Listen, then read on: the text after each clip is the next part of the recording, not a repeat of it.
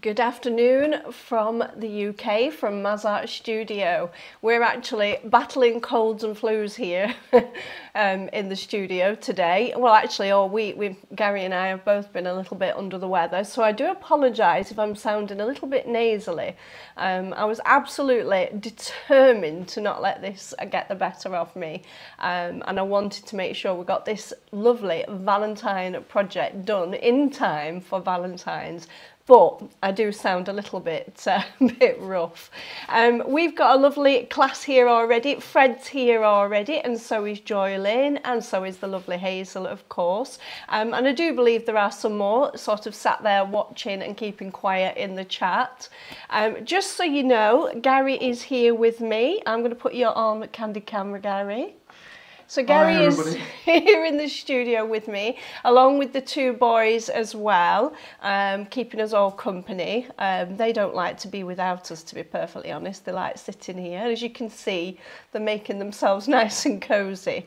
Um, but Gary is here with me in the studio, so if there are any questions during this live show, um, please do feel free to ask him and he will relay those back to me. Dean is here as well, so we've got a nice, we've got a nice workshop going on. Like I said, I wanted to get this done in time for Valentine, despite sounding a little bit like this. If anybody's seen the episode of Friends where Phoebe has a her voice. Um, you know, she's got a cold and she's got a really rough voice, and she reckons it makes her sound a little bit more sultry. I'm going for that today. That's my uh, my attitude. I'm going for that. So this is what we're painting today. I've done the underpainting. And just to be clear as well, because I think a few people have got a little confused, um, the photograph that I'm working from, that is actually a photo, it isn't my painting. Um, obviously, I'm painting this live with you today, um, but I wanted to put something on there almost as a placeholder so that you knew what we were aiming for. Um, my plan is to try and get as close to that as possible today during this live class. Um, We've got JD here as well. Lovely to have you, JD. It's always nice when you pop on. Uh, and Jamie B as well. So we've got a really nice full class. So without further ado, and also because I'm not sure how long my voice is going to hold out, I'm going to crack on with everything. I've got my palette set up. Now I do, I have included with the free tracing, I have included what I thought we would need. I typically tend to lay all of my paints out like this. Um, I just transfer them over to an airtight container at the end of the day. And I just prefer having access to all of my paints. But if you don't want to do that, I have listed the colours exactly what I think we'll be using because obviously I've not painted this um, in advance. I'm going to do this live with you guys today, um, but I've listed that in the PDF material list that comes free with this workshop as well. Um, but just in case you're wondering why I've got so many colours, this is just how I do it. I just I like to have all the colours. It allows me to make more spontaneous decisions knowing I've got my favourite colours all out on the palette. So, um, Right, without, and then the only other thing I've got here, I have some Liquin Original as my medium for today. Um, it's a nice fast drying medium, which is what I wanted for this workshop. Um, but you would also be able to use linseed oil or a walnut oil or something like that. Um, so use whatever you, you know, supplies you have available. Um, I like the Liquin Original. I just like the fact that it's really fast drying. So if I wanted to do any touch-ups tomorrow and really tart this up a little bit, then I would have that opportunity to do that. Right, what I'm going to do, I like to work, and if you've done any lessons with me, you will know this procedure. I like to work on a slightly wet surface. And when we're talking about medium, I always use it sparingly. So don't ever put a lot of medium on. But what I want to do is give myself a little bit of a wet surface, um, an oiling out surface to work into. Um, I do wipe a lot of this off. I put it on and then wipe it off. And of course, because this is a fast drying, even during this live demonstration, this will also start to really tack up and it allows me to add multiple layers even within this sitting. So it's one of the reasons I do like it. I don't particularly like the smell of it. Um, I don't put a lot on um, and I only put a little bit out on my palette as well. So I have got a very, very thin layer. And again, that's so the paint goes on just that little bit smoother when you're applying oils instead of having that drag with that draw that dry um, underpainting. Again, it is important that your underpainting is completely dry before you start working on your colour layers. So once I've got that on there, I like to take a paper towel and super gently, I'm actually going to wipe off that excess. From It's not showing on the camera, but from where I'm looking, it's got a little bit of a glossy finish. And what I'm looking for is more of an eggshell.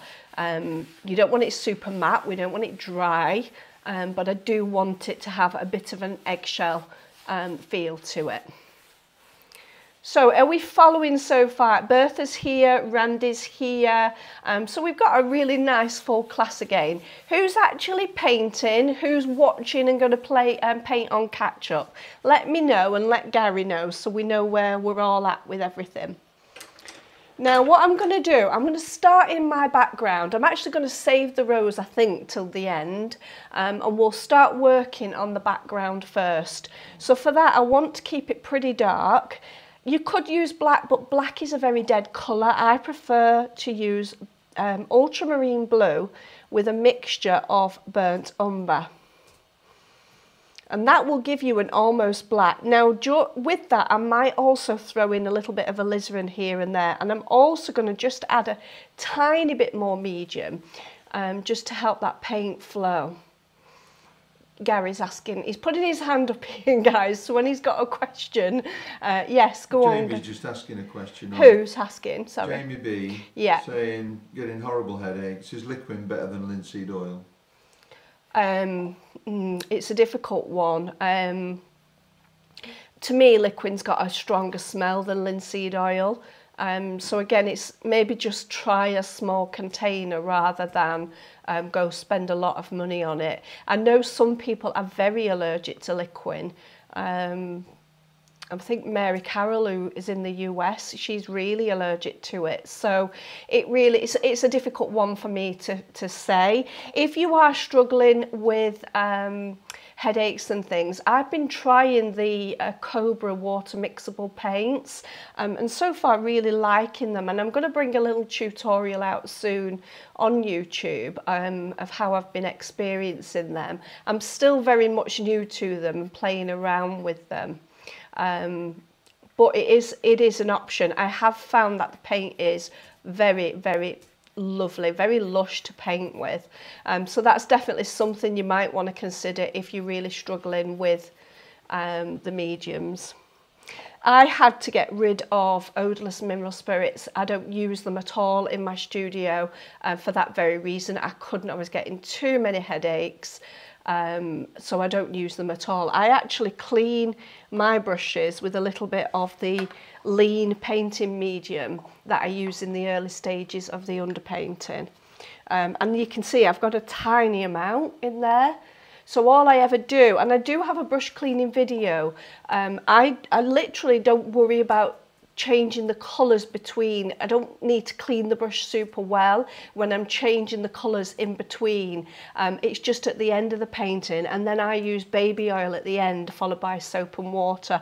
So if you are wondering about brush cleaning without mineral spirits, um, then try that. Then the other thing I would also suggest instead of um, linseed oil, if you're really struggling with the linseed oil, is try walnut oil. Um, I believe a lot of people seem to, I've never used it, but I do believe a lot of people really like that. Um, I'm thinking if you're having trouble with um, linseed, you're quite likely to react to the Liquin. It's got a really strong smell. JD says he uses Wilson Bickford's clear glazing medium. Okay. Has no odour and dries fast. Yeah. So there are different options, you know, and people are dropping their versions, um, you know, what other people are using. Um, but I would say if you're struggling with the smells from linseed oil, you're not going to like the Liquin. It's got quite a strong smell. I don't, as you can see, I don't put a lot out, so it doesn't really affect me. And I'm in quite a large studio. Um, but if you were working in like a small bedroom area or something, you may struggle with that. So I hope that's answered your question. Just to give you a quick demo um, of brush cleaning, all I ever do is I dip into the medium and I just a couple of times I'll do that with that medium.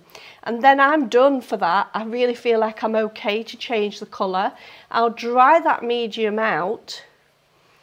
And even though it's not super clean it's clean enough um, certainly for paint switching you'll be very surprised how little paint actually if I go into the red how little paint actually transfers across even from just dipping in and cleaning your brush that way so it's not clean by no means, but it's clean enough during a painting session. So I hope that makes sense. I don't have mineral spirits at all near me. And I know you've been asking about linseed, but it's all relative, I think. Um, right, okay, so that's the background, nice and simple. If you want at this point, you could throw any other transparent colour in there, for example, a little bit of alizarin, and it, it won't show on, again, it's not showing on the camera, but you get a little bit of that warmth peeking through um, sort of once it dries you just get these lovely little flashes of hints of different colour and it doesn't look quite so flat. So that's something I will do when I've got a black background like this is throw in, particularly because we're using some red, so to bring some of that red across and dance that in is quite nice. And that's it for the background, nice and simple. So I'm going to move on now and start working on our books. We actually have quite a complementary scheme here, even though it's not super obvious. Um, but we've got sort of orangey, you know, we've got the red oranges and orange colours around the book area. And then as you look down towards here, we've got blue greys. So we've got a nice complementary scheme going on here. So what I want to do is mix the orange for the base, if you like, for my book. So I'm going to have a starting point. So I'm going to go into some cadmium orange I'm going to need you to grab me some more paint in a minute as well, Gary, so because I've definitely not got enough. Now that straight out of the tube is going to be far too candy coloured, far too bright, so we need to grey that down. And we tend to grey that. You can mm. use one of the earth tones, but I'm also going to use the complement, which is the blue. So just a tiny amount of the blue compared to the orange will really help grey that orange down. Now that's going to be a starting point from me, for me. But from there, I want to be able to go darker and lighter. If I just jump over to the palette, I like to have that middle point and then from there, I'm going to start lightening it. In fact, I'm actually going to use a little bit of Naples yellow to begin with. And I get what I call a string, a chain of colour from that point. Now I'm seeing some of that colour and I'm also seeing it go even warmer and lighter. And then I'll pick up some of that white. So we now have a lovely chain of colour from that mid-tone to the, um, the lighter colours. So I'm going to go into that mid, there is some darker colours in there as well. Um, but I'm going to add those as we need to. And really for that, I'm just going to go with a little bit of burnt umber. So I'm going to come to the side here with the burnt umber. Let's bring a bit of that orange in.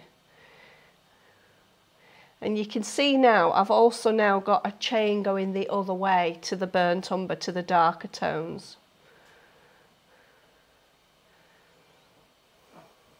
And this is something I do a lot, is that I will start at one point and then move it in different directions um, so that I can always go back to that starting point if I need to. I'm going to start with that darker colour and we will work right in our darker area. I'm going to use my underpainting as a map so you can see where I've got that dark shadow on here. I'm using that dark tone as my guide of where to place that colour. Now for the time being you're just placing colour, don't worry about blending. And it does look a little strange. I'm going to go further up my chain where it's even darker still right underneath the book.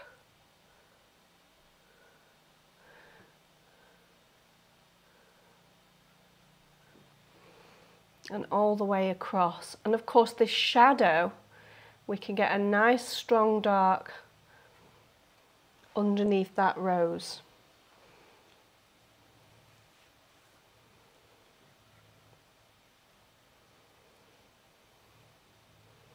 Now we've got that strong dark directly underneath the rose. If I give my brush a quick wipe and then go down that chain, I can get something that's still a bit darker but not quite as much. So we get that soft transition in shadow colour. And again, you can see where I'm following my underpainting as that map.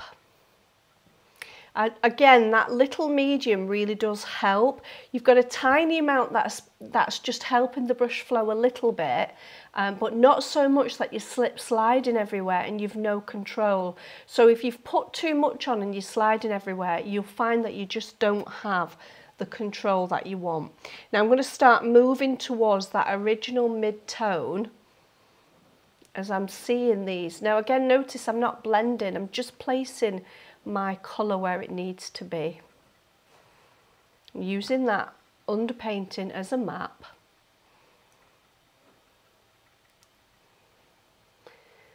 And keeping my brush strokes, one of the things I'm definitely working on is allowing some of my brush marks to show. I'm going to go down that chain again. And again place that slightly lighter tone.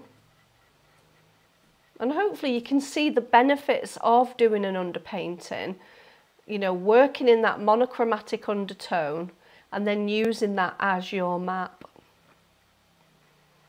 It really does simplify the whole painting process so I'm going to keep going across now, following these different tones, but not worrying about blending. We can get the blending in a little while. It's more important that you think about the placement of the correct tones in the correct area. And again, I'm going to, I'm looking at the reference and it's slightly darker at this end so I'm going to work slightly towards this darker tone.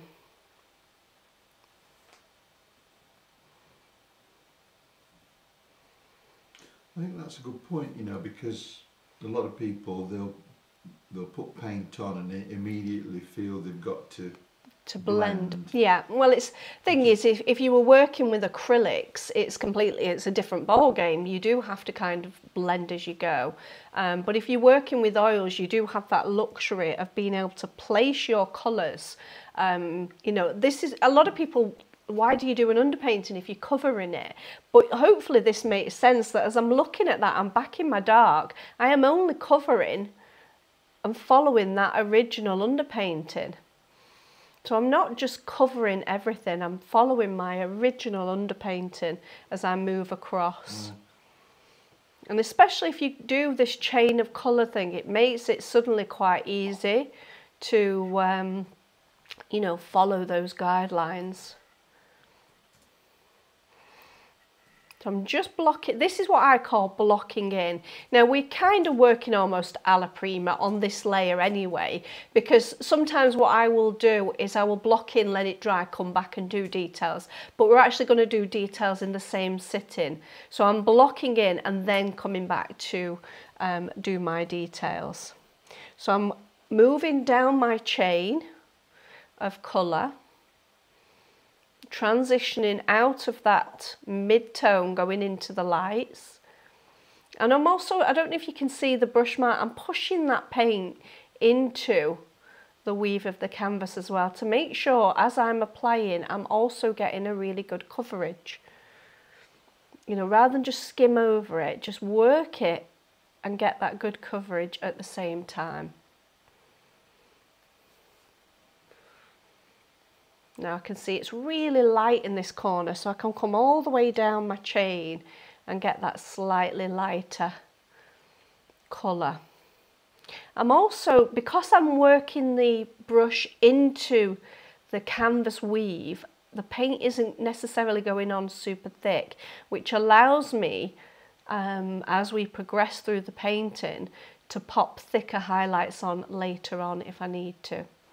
So that's the blocking in. Very simple, no, no, um, you know, no real major detail there.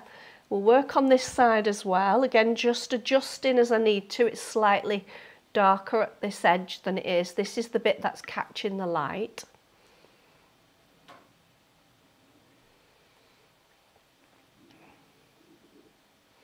You know, for ease, I'm going to just bring all that colour across, I think back to my darker tone. And all I'm doing at the moment I'm not actually even cleaning the brush because these colours are all related. All I'm doing between is just giving that brush a wipe. So it's quite nice that you end up with that um, you know the, that colour harmony within your painting. So again back to my darker tone over here. And it does lighten slightly but only a little bit I'm going to pick up a tiny amount of that red. I like to warm the shadows. So we've got a little bit of a warm colour in those shadows. Let's do the top of the book as well. So this is coming along nice and quickly. It's great. Mm. Let's do the top of the... Um, what I'm trying to do is deal with the background first so we can put the fun details on the top. But I'll use the same colours for the top of the uh, book cover. I think, you know, you're talking through the colour chain theory that you've got on your palette. I think that helps. Yeah, definitely. You know, and it's something that, yeah, it's something I do a lot, you know, especially when you're working with more complicated subjects, like if you're doing a pet portrait, for example, um, I'm going to change my brush to something a bit smaller. I'm just switching to a smaller filbert, um, but you could just use a small flat as well. Just something a bit smaller while I'm in this smaller area. Um, yeah, if you're working on something a little bit more complicated, um, having that string of colour can really help you. So I've gone a little bit lighter where I'm seeing that light tone. We've got a nice shadow there, I'll come back to that.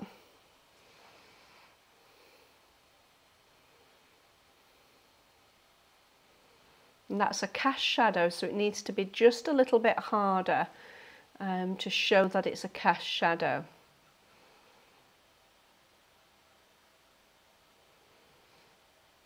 Now I'm probably going to change these colours slightly um, once I've actually blocked everything in on the top.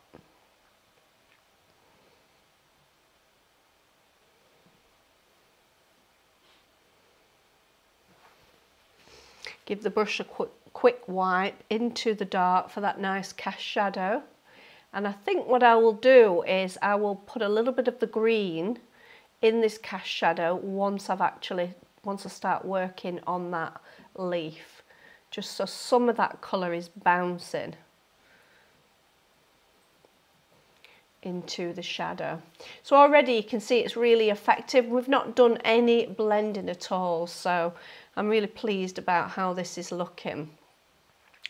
Um, I'm going to change things. No, I'll keep everything as it is. We'll stick with the same colours, maybe just grey them ever so slightly.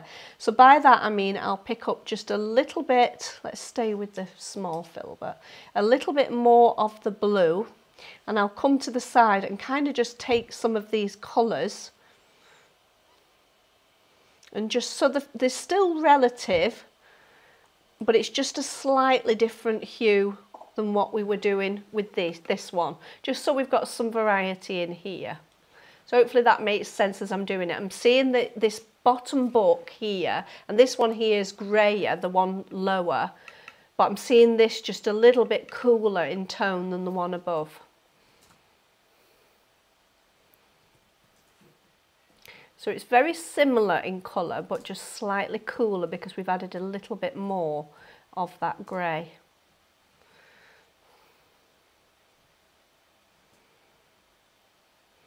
So this is where your complementary colours really work because even though there's no blue in it, that blue is really helping grey things down.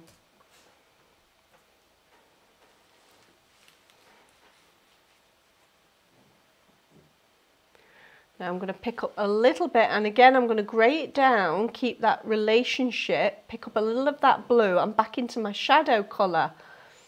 But I've picked up a little of that blue so I can put that shadow under here and keep that relationship.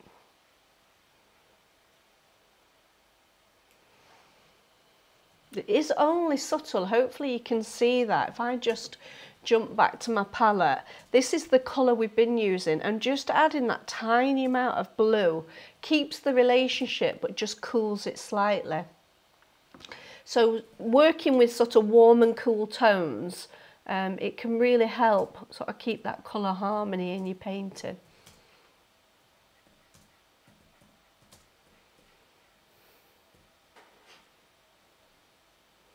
I'm going to just dance a little of this in here now so that the top part of this book has got a little, seeing a bit of texture. So I can pat that on there. In fact, while I'm doing that, I'm also going to just bring some of that to the top. Very little paint on here. I'm just trying to create a little texture on those top covers. So they like look a little bit leathery. I'm going to pop back to this um, shadow that I've missed here as well. Let's bring a bit of that in. We get there eventually. We might miss things, but we get there eventually. And now I'm going to work on this one here. And again, this time we are a lot cooler with this book. Um, it's much more of a blue-grey tone, but I still want to keep this relationship. So I'm going to go back into the blue and come to the side here. I'm going to bring some of that orange in as well. But this time it's a much cooler colour, a much cooled down. But again, because all the tones are relative, there's some of that orange in there um, it's giving us a, a really nice now I'm going to have a look at that. We're definitely going to need to go darker in the edges, but I think that might work for this part here.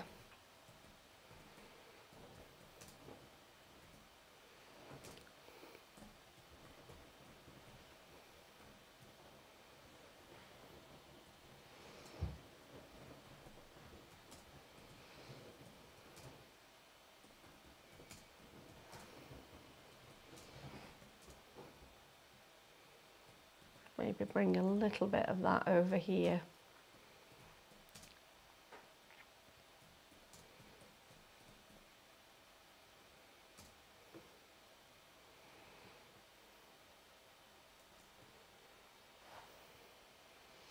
So I'm just getting that initial lighter tone that I can see and then I'll come back with a dark version and we'll get that in as well.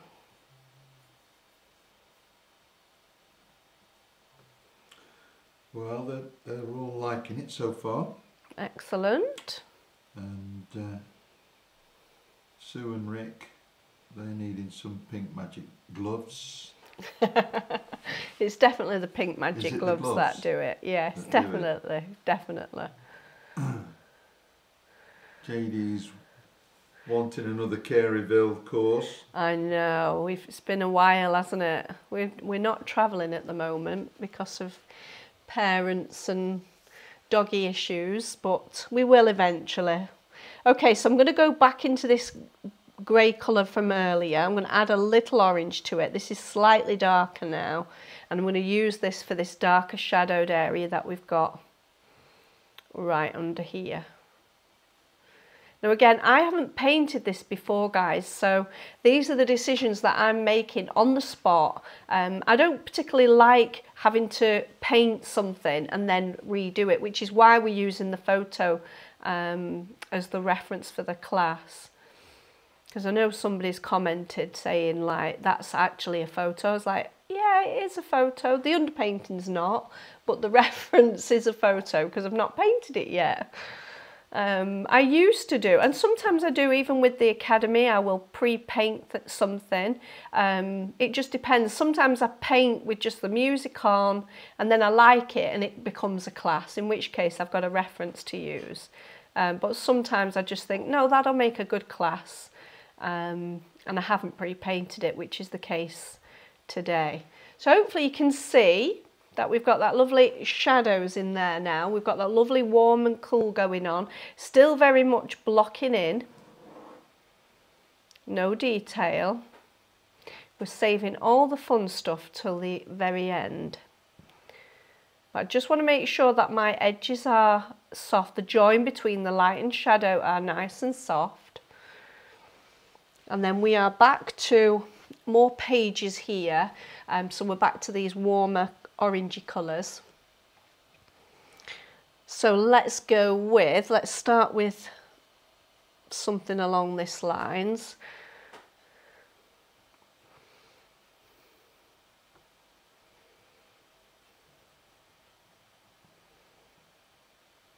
So again, using that chain of colour just really helps you because um, all you have to look at then is your reference and your underpainting and you know roughly where on that scale you're either at the dark end or at the light end and so you can use that to your advantage when you are following this underpainting method. It is one of my favourite ways of painting, is getting an underpainting. I, I, you know me, I like to play around with paint and I do all sorts, but I do, if I want to do a commission or something like that, then this is what I tend to fall back on. Gary's putting his hand up again.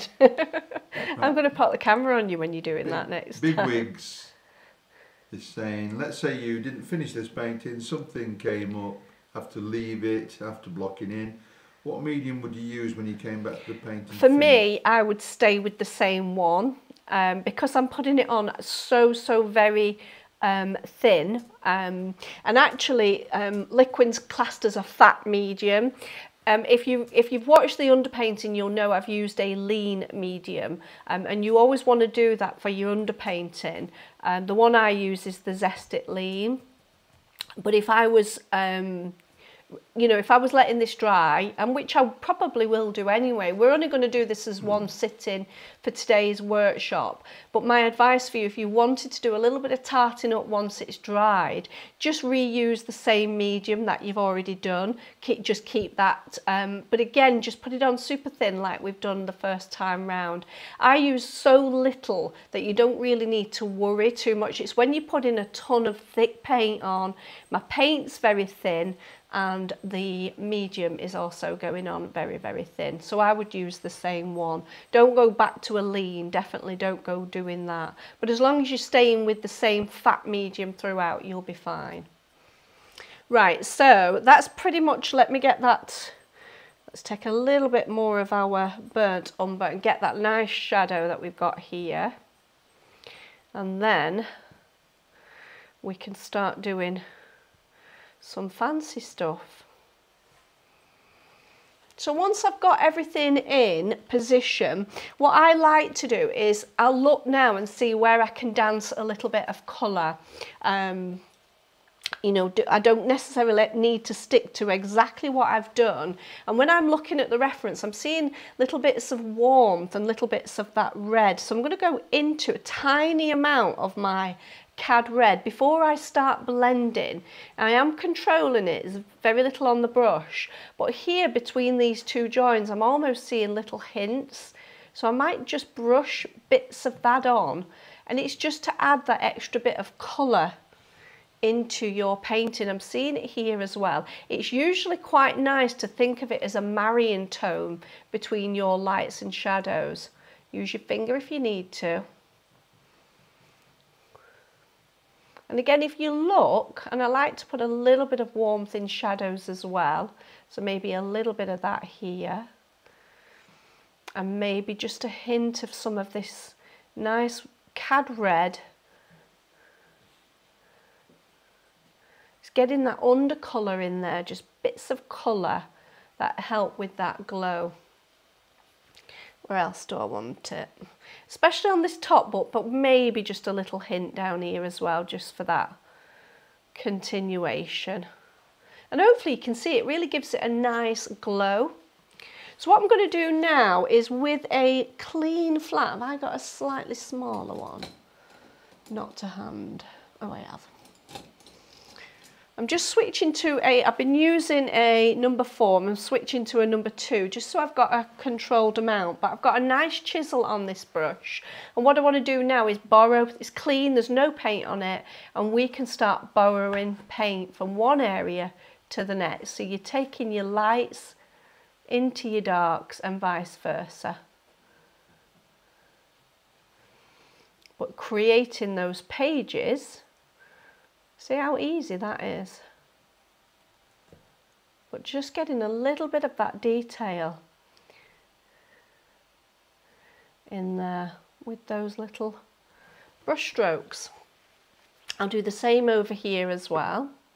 And this is why you don't want to be dealing with your candle at this stage. You want to get all that background work done. Again, I'll borrow some of that dark and bring it down here. And I'll borrow some of the light and take it up there. So you're borrowing paint from one area to the next. I'm cutting right into that. Let me give you a slightly different angle. But I am cutting right into that in a back and forth windscreen. I'm not actually taking it off and doing this. I'm windscreen wiping, taking light into dark.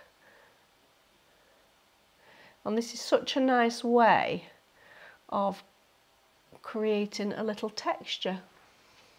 I'll do the same here. Again, borrow the dark into the light and so on and so forth. It's ever so subtle, but that's all you need um, to create the idea of the pages of a book.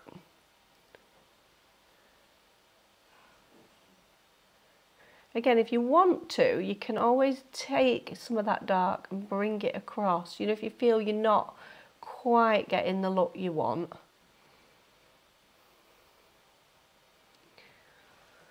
That looks effective, doesn't it, Gary? It does. Yeah, I've, I've made a note of that. But it's, um, you know, just borrow that paint. That's not to say we're, we're done at this stage. And hopefully you can see by placing your colours where we needed to, um, you know, we've, we've still preserved that lovely light and shadowed effect. I'll do the same on here as well. And again, I can always come back with some light if I feel like I'm not quite getting there. So I've borrowed some of that light and I'll take it over here. Again, I'll take some of that dark and I'll borrow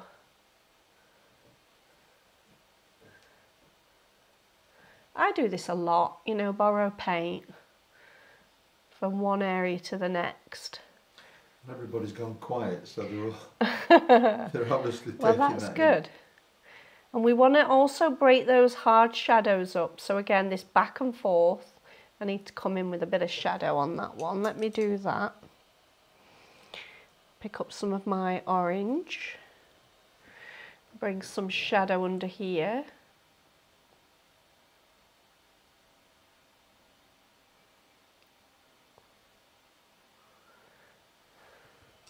and again back to my clean flat and just move that around a little bit.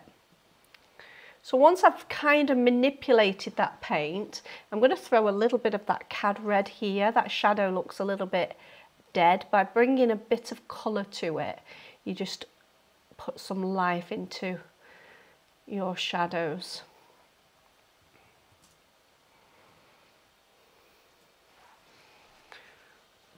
Okay, so once I have manipulated the paint as much as I want, I'm going to just start doing a little bit of detailing. And for that, I'm going to pick up some, let's go back to our dark to begin with. And a little of that cad red while we're at it. And again, now I can just come in and just start neatening up edges. Let's go with just the burnt umber.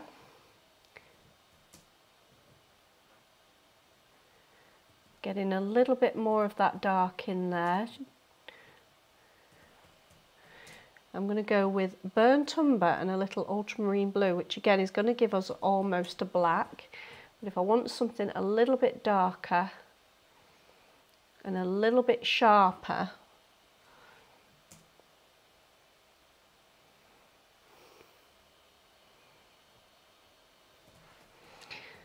So right under here, I want a nice obvious edge between where that book cover ends. And it can be a bit wonky. It's an old book.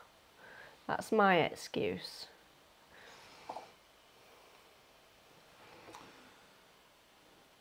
I don't know if I told you, but Raccoon Little Bear Okay. is, has been with us from the start. Oh, wonderful. They can see a face forming on the palette. Obviously, you you intend you're atten- intending that, aren't you? Doing two paintings at once. Oh, right, yeah, of course, yes. I thought they meant on their own palette. I was like, oh, that's quite clever. Oh, So again, I'm just looking now where I can put these lovely sharp, and this is the um, shadow as the contact shadow, if you like, where the, um, the book is actually sitting on the surface. So we want that to be just a little bit darker. Now we've got those other shadows in place and using a nice sharp chiseled edge brush.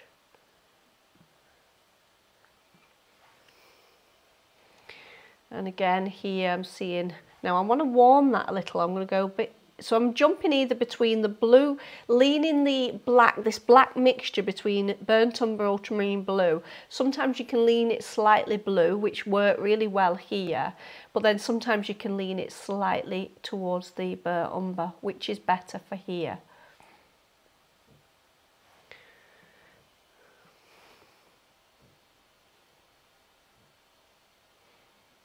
And this is where you just need a nice steady hand. I want to bring that shadow across. I'm seeing that a little bit stronger there. And again, a nice strong dart right underneath here.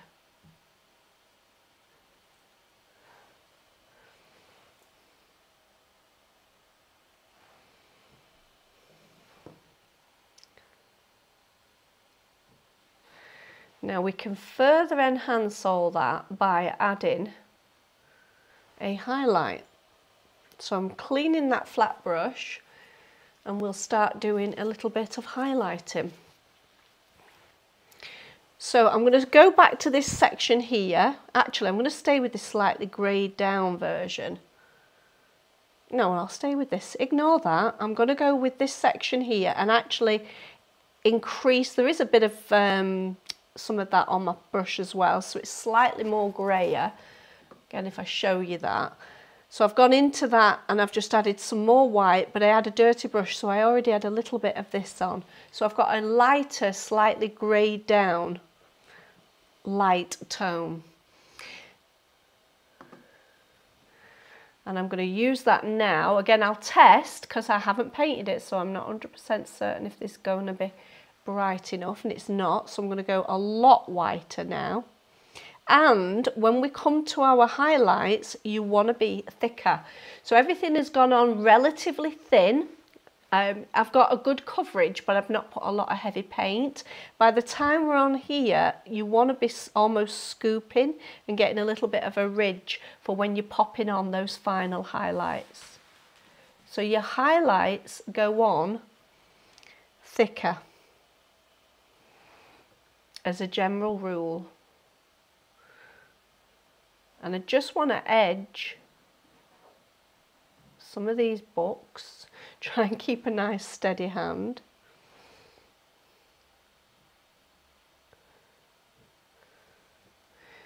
Which is easier said than done. And then what I want to do, I don't want to leave it as a hard edge like that. I'm going to come in and almost just tickle and blend that in Again, using that slightly patty stroke, so I'm creating a little bit of that texture. You're going to be much neater than me. Hopefully that makes sense. Let me just go and tart that little area up. So this is the nice thing about doing the lives. You actually see me fixing things like here where I've just smudged. I'm just going to go back to my dark tone with a clean brush and just push that back. So I quite like that. That looks quite good, doesn't it? Looks nice and effective. And a, a, new term, have you introduced a new term, a patty stroke? A patty stroke, yes. This is my new patty stroke. I'll stay with this nice light colour. It's almost white. It's very greyed down and it's almost white.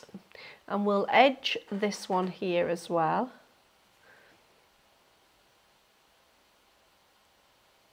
And again, I'm okay with a slightly wobbly book. It's one of them lovely soft leather bound ones that are a bit well loved and well worn, well read. That's my excuse. So once I've got that lovely edge, we can go back to our patty stroke then. Don't want a hard edge like that, I just want to and I am going to clean that and again I'm just going to tap and smoosh and soften so I get some nice texture at the same time with my little patty stroke. so that outer edge here is nice and hard but this edge going back into the book I'm just smooshing it and softening it down. Yes, sorry, go Fred's on. Fred's got to go, but he's going to be painting this later today. All right, lovely. No so. problem. Thanks for joining us, Fred. And hopefully I'll see you on Wednesday for the Rose one uh, that we're working on on the Academy. Um, yes, you need to do it. You need to do it for your missus. So Valentine's Day. I'm giving you all heads up that you need to get these paintings done as gifts. Okay, so I'm going to do the same now with the top book. It's slightly, I'm just moving down the scale slightly. Um, I'm just going to, here I'm just going to dance a little bit of this light in here. Again, just allowing some of that undercolour to peek through. And again, I am really focusing this year on allowing my brush marks to show, not blending everything to death. Because I do think at one point I might have been the queen of blendy blendy and I don't want to do that. I want to try and get away from that and create just a little bit more texture in my paintings. So I got that hard edge and then I'm smooshing, patting back. And hopefully you can see there's a lot of variety in there because we're leaving those brush marks coming through. I'll bring that light and I'm scooping now to get that slight ridge on my brush. JD's asked a question, but it's regarding the candle when you get onto it. Yeah. Um, would you like me to ask it now? Yeah, sure. Go for it. It's saying, is is the candle the primary light source? Uh -huh. Or or is there another light source above um, the candles? The, basically? the very well could be. It's definitely not the primary light source because this you would basically just get all this on this side. So there is a light source coming from here as well. This is giving us a nice pretty glow, um, but it's definitely not the primary light source. I just, you know, I looked at the reference. Um, I think this is an Unsplash um, reference photo, which I've included in the in the notes. Um, I just thought it was a really pretty I don't always question where the light's coming from in that sense, um, but I wouldn't say it's the primary light source because everything would be super dark. We would have a whole, we have got shadow on this side, but we, we would have way, way more shadows. Yeah, there'd be a lot more shadows yeah. Um, well, it, you'd get that chiaroscuro effect rather than what we've got is much more of an even lighting. Um, so I'm still saying that there is, this is giving some light over here, but there's also some light almost coming towards the front. If you look at where the light's hitting, here, here, here, there's a light source coming from here as well. Um, that's how I'm seeing it anyway.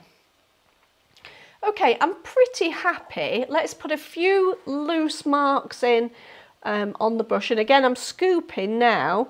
Um, just where we've got this lighter area, I want to put a few loose marks in here. Again, that slightly thicker texture um, just to enhance that feeling of book pages. Now, don't forget, don't take these bright lights into your shadows. If you want to go with a bit thicker into your shadows, you need to warm that slightly um, and go with something just slightly warmer. Still lighter, but it's not, you're not, you can't take white into your shadow areas. It just doesn't look right. And again, I'll do the same, scoop a little of this what's left and just bring it a little bit. Let's put a bit more paint on there, being tight. Just that slightly thicker and again, keeping that nice brush market effect that I'm really trying to work on. And I think we're pretty done there. What do you reckon? I'm going to go to that slightly, we'll put a few here, but not quite as bright. Just to give that continuation. Pretty happy with that, Gary. What do you reckon? Yeah. We all done? No, Right, okay, They s- all like it. So we'll um, what we'll do now is we will just start working on our candle. I may need you to just grab me some cadmium orange, Gary, and You want some orange? yeah, cadmium orange and some cadmium red. I have a feel, and actually the white while you're up. The white's on the surface there. These fellas come in handy. Goodness me. I know, I know. Now the candle, again, very much, it doesn't look it, but it's very much blues and oranges. Those are the main primary colours that we're going to use um, to create. That's the one, cadmium orange. Red's next to it. So that's your first one. The cadmium red is right next to it, where you've just been. The long tube, that's the one. Yeah. And then the white's actually on the surface. So thank you. You mean the one where you've wrung its neck? Yeah, the one where everyone gets there's mumps still in that mumps.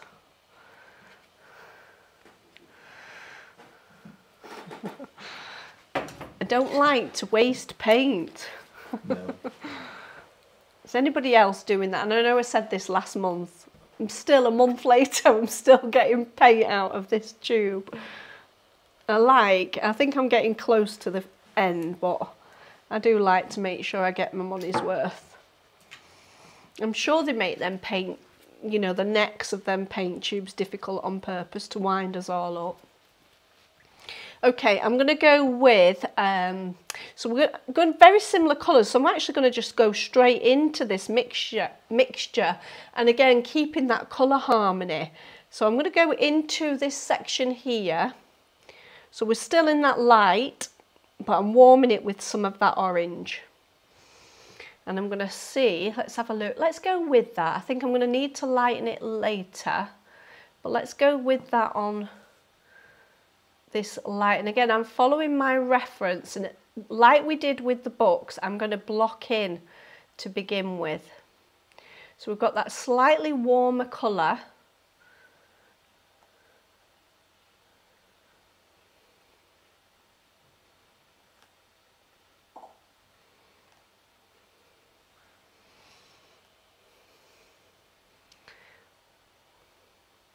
Seeing it over here. Now, I will need to lighten this with pure white at some point, but I never want to use all my aces in the early stages. I always want to know that I've got white to be able to go to if I need to.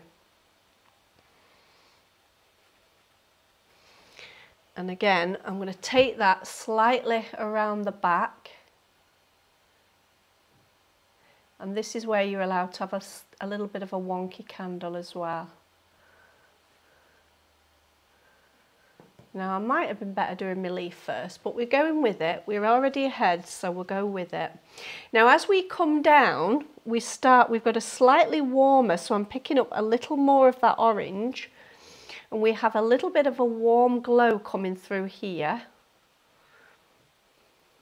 And I'm going to add some yellow into that as well. Let's get the orange on to begin with.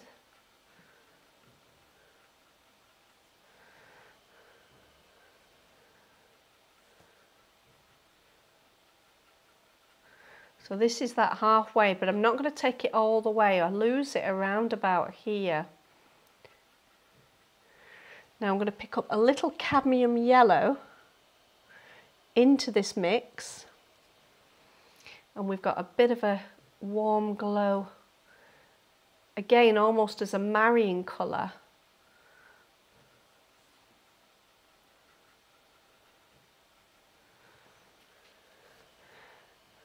Let's bring that further down.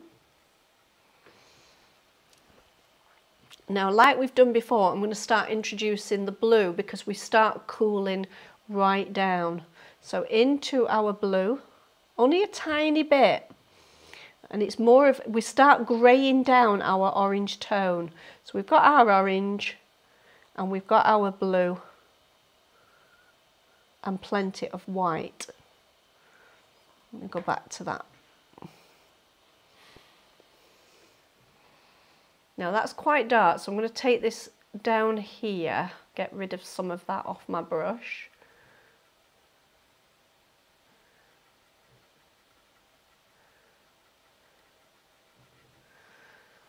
Keep wiping that brush and then I'll go back to our lighter colour and just try and get something in the middle between the grey and the orange. So again also working in those puddles. not worrying about blending, I'm just focusing on colour, getting the colour in place. As we come here, it really starts to cool right down. So adding just slightly, still light, but adding slightly more of the blue. So we're getting a slightly more of a blue-grey.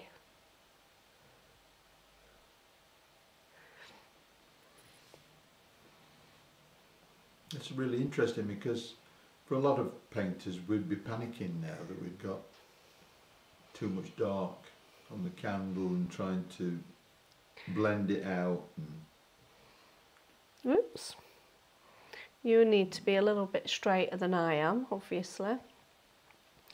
And again, I'm seeing we've got this bluish colour. So I'll stay with the colours and just pick up the hint of blue to keep that cooler tone it's always about playing warm and cool where you possibly can. And it just gives a lot more. And it looks messy at this point, and that's all okay. Trust me.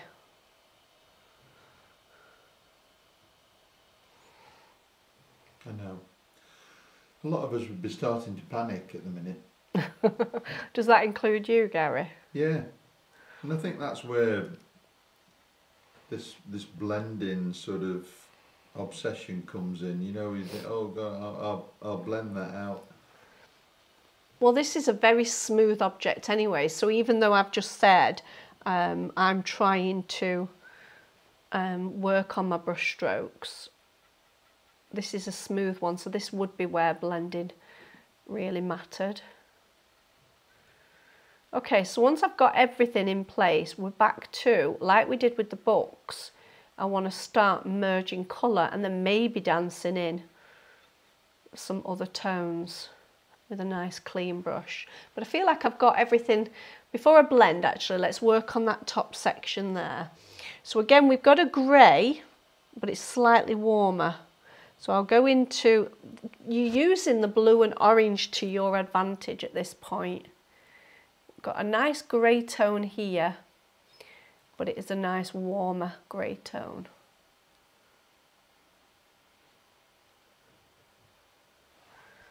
And I'll go back to our light and bring that across.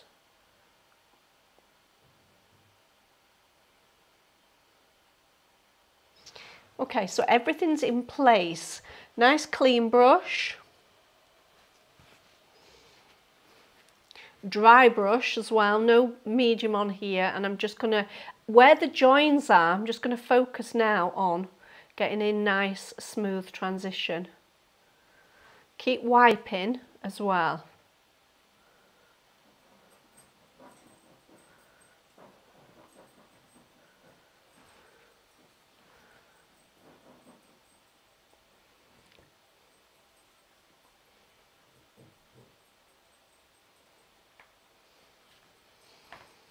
You've got that lovely sort of waxy feel, I think, when you work this way. And you've got all those colours working together. So I'm constantly wiping that brush. I'm really just focusing on the joins. So I'm not spreading that yellow too far, for example. I'm working, I'm going to just give you a slightly different. And I also don't lift the brush up. I'm doing a figure of eight on the join between one tone and the next. Give the brush a wipe, move to the next join. And that's how you get that lovely smooth transition. Once you've pretty much done all the work with your brush, and you do need to do it with your brush, I am going to use a mop to soften. And again, with this, it's more about the work needs to be done with your brush before you switch to this. This is more about just finishing those final marks off.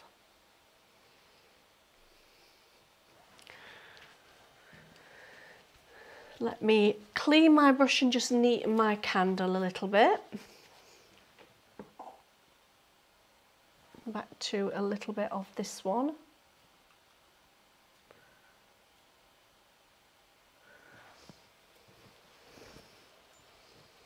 Now, clean brush again, I'm going to work on the top.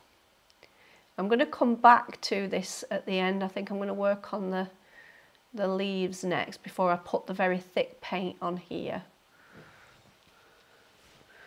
And now I'm going to go into a little bit of, I've switched brushes to a filbert, a little bit of cadmium red on that outer edge.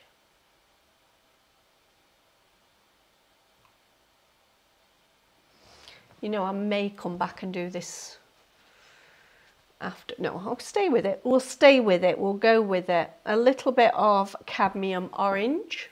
Not a lot of paint on here. And I've got that little glow now.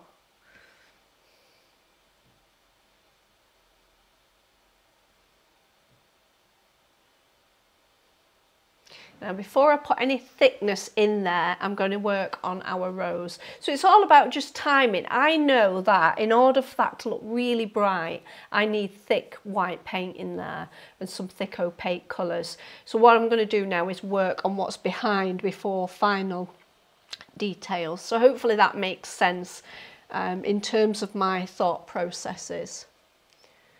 So we will block in our leaf and then do the rose and then we do a final pass over everything.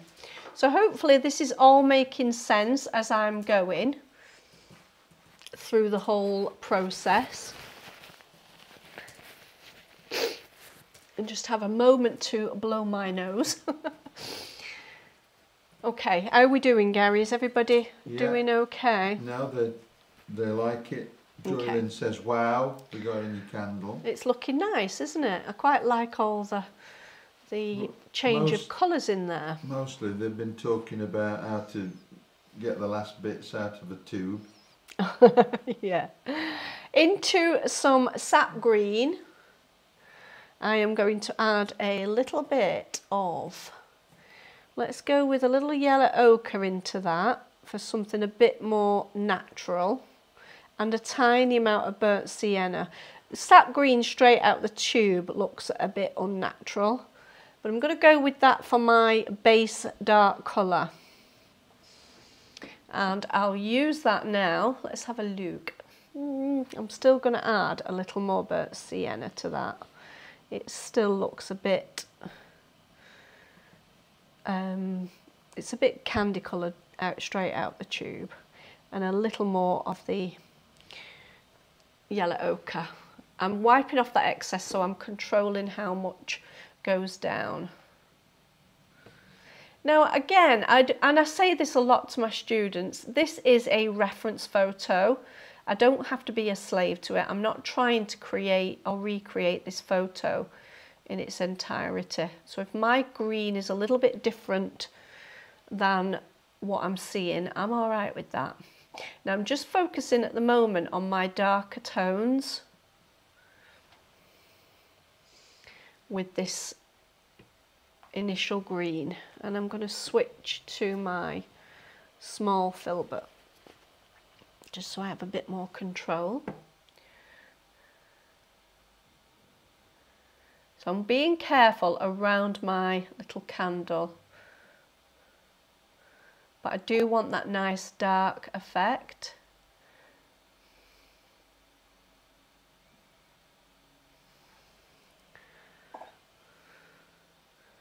So using my underpainting as my map, I'm going to start adding on those darks.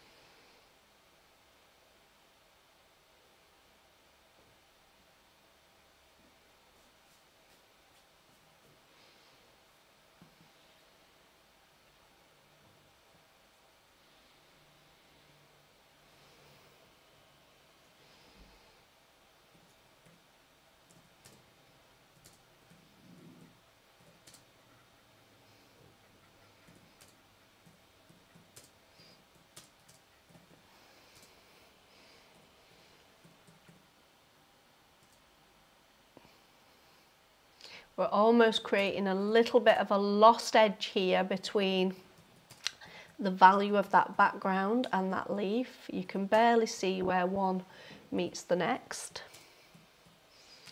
And whilst I'm at it, I'm going to also work on this one.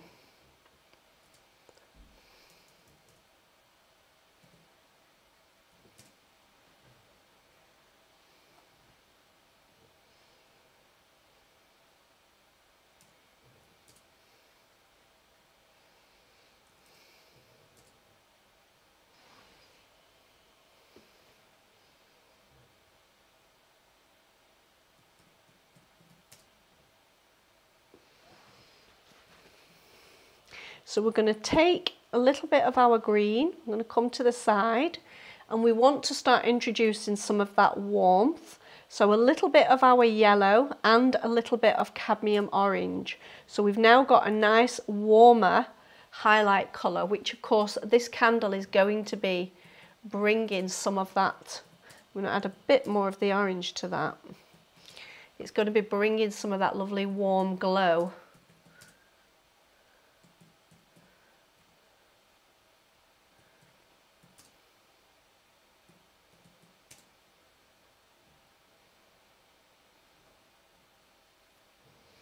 And again, I'm keeping my brush marks pretty loose with this one.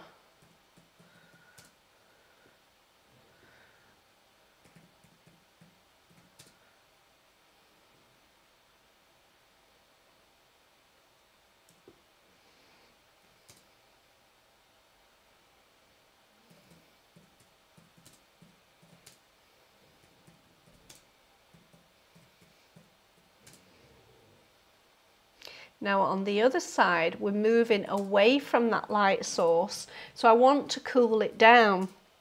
So I'm going to go into our blue, come to the side here. I still want it to be quite light. And I'll pick up some of our green. And again, back to, let's lighten with some cadmium yellow.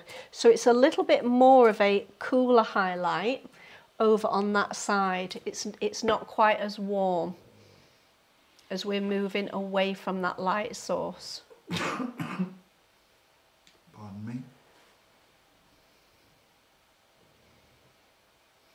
We've both been struggling with this cold all week. There's a lot going around though, isn't there? There's a lot of people.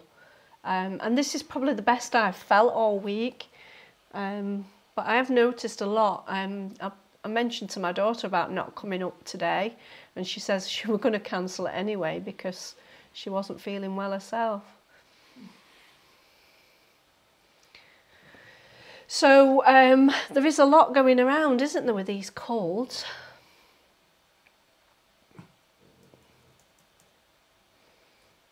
You were saying your brother had had it as well, weren't you, Gary? Yeah. He struggled for weeks. I know. You're doing well to get through this live painting. Thank you very much, JD. I appreciate it. I was absolutely determined because I wanted this done for Valentine's. Um, if I'd have been, I was pretty rough yesterday. I thought if yesterday I was thinking I'm probably going to end up cancelling. Um, but it's amazing what a little bit of makeup and a shower does for a girl. I definitely felt better once I'd done that this morning. I have kind of hibernated these last few days. So I've got those base colours in there now. Cleaning the brush and I'm just going to make sure that these are sort of blended nicely before I start popping on some extra highlights.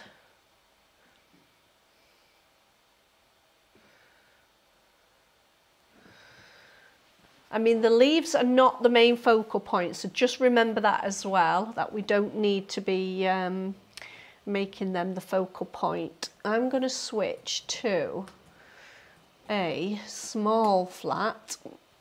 This is one of the MazArts. It's nice and sharp, um, so it gives me some nice sharp details. I'm going into a little yellow. I'll come to the side here, always relating the colours back to what I've been working on. And I'm going to pick up a little, I'll pick up a little bit of the Naples yellow as my opaque highlighter.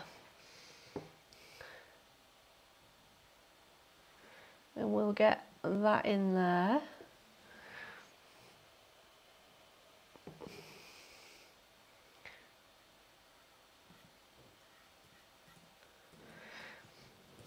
And again, staying with this colour, I'm going to add a little more orange into that. And I want to pop in some of these little highlights that I'm seeing.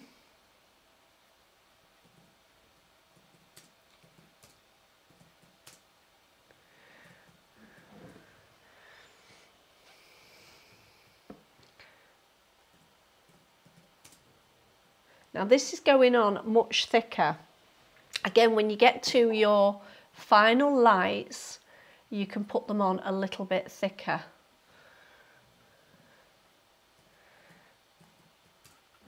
And again, I'm going to cool that colour. Let's go with a bit of white to this mixture here. So hopefully you can see I've stayed within that um, area where the cooler blue colours are and just added a little bit of white to that. Scoop that on because it's going to go on thicker and we can pop in some of this cooler lights that I'm seeing. Let's switch to my filbert. I feel like that my brush bristle brush is a bit too sharp and it's cutting in. And we'll add a little more white to that mixture. Sometimes when you're putting these final highlights on, you need a slightly softer brush so it doesn't dig into the paint underneath. It just lays on top.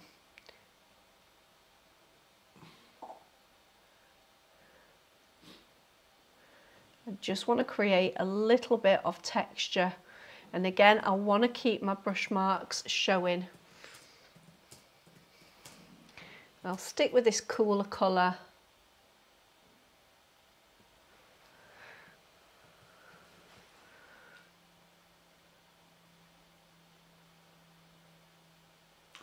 One or two comments about your, um, you know, your stick. Your, this is called an easy, and I have a link on my um, thing for it. Um, I actually bought it from um, your neck of the woods, guys. You know, from America, um, and it cost quite a bit to ship over, but it's been an absolute godsend for mm -hmm. working. Um, I'm switching now to a liner brush and I'm going to go into a little, whenever you use the liner brush, you're better with a small amount of medium. And I'm going to use this now just to edge this cool, nice cool colour. You don't want too much medium because you still want your highlights to go on quite thick. But we can edge that leaf there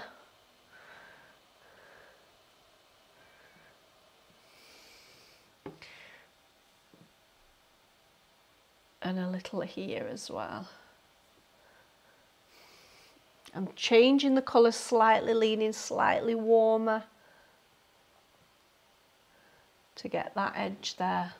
I quite like that.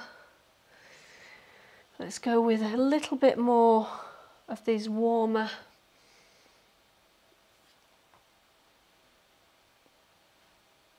shines that I can see, a little bit of shine on there sort of light within your lights. That works, doesn't it? It does. Pretty good with that. Right, so now... should leave that alone now. Leave it alone. Well done, Gary. I will. I will leave it alone. I've put my filbert brush down. I can't find it. There it is. Yeah, I'm quite pleased with that. That looks nice. Now, what I wanted to do, I'm going to pick up some of this green very little and I do want to brush, if you remember I said I wanted to just bring less than that, a little hint of that inside of this shadow as though it's casting a little bit of that colour into the shadow. And I think that looks really nice. Right, now on to our main event, our lovely rose. So on, as a rule, you want to look for those three tones. I'm going to clean some, no, I'll be all right, I think I'll work over here. Um, so I want a darker tone, a mid-tone and a highlight. Our highlight is going to be the cadmium red, so everything from there has to be something in between.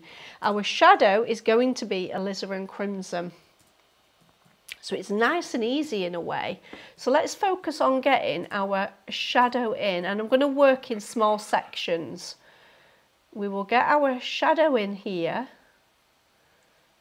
with that alizarin. So it's a nice rich colour. What I'm going to do to mix the mid-tone is I'm going to take our alizarin and a small amount of our cad red so I've got something in the middle and save that cadmium red for those final highlights. So once I've got my shadow in I'm going to place that mid-tone right next to it and preserve my highlights and it may be a little fiddlier when you're working in it gets easier as you come out But we do need, certainly in this initial stage, to get those three basic tones in place.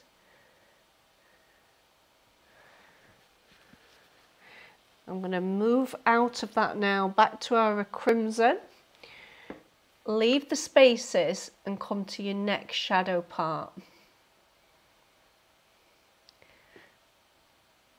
Work part way up give the brush a wipe, move to your mid-tone.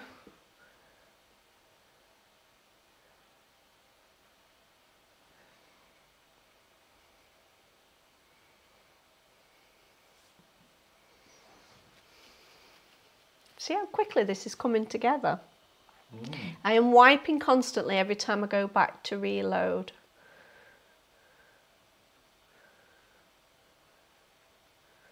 Don't take your shadow too high in places. You do need that middle colour. White.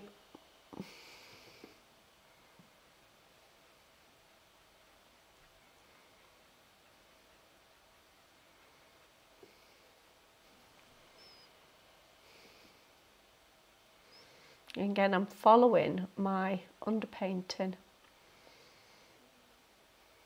as best I can anyway back hmm. to my crimson. And of course that opaque, thick cadmium red, you, you want to be careful because you want to try and save that as close as you can towards the end because you're going to put that on pretty thick to get your rose to pop.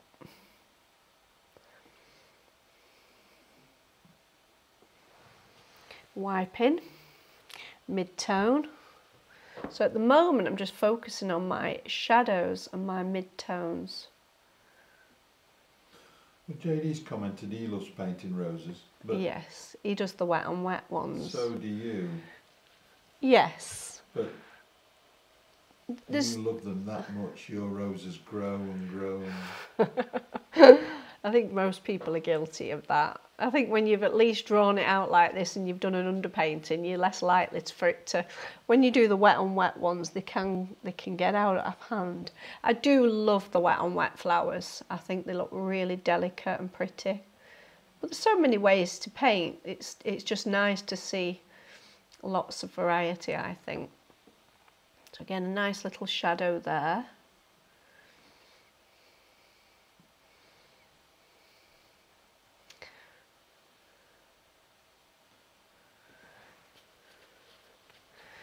And back to our middle tone. I don't want to make that mid-tone too light, so just be aware of that. It's almost a 50-50 mix of those colours. I don't want to be competing with that cadmium red by having this mid-tone too light.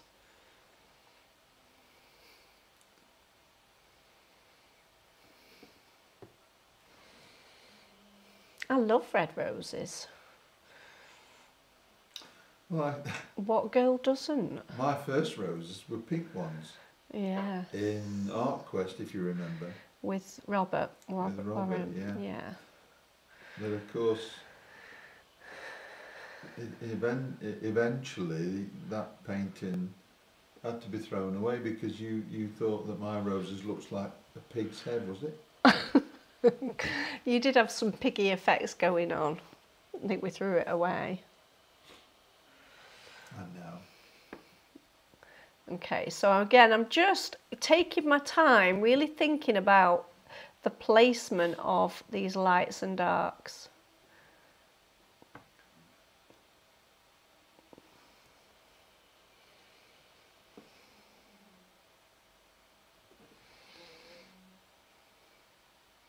Trying to preserve that pop with that cadmium red.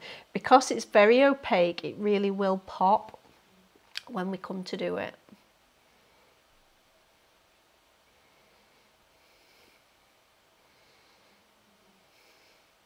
And of course our underpainting is also helping with that darkness because it's lovely and dark here. I'm just tinting that underpainting.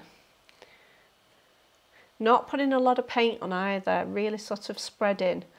When we come to do the opaque colours we will put more on. So at the moment now we're coming into the bigger area I can just concentrate on the shadows.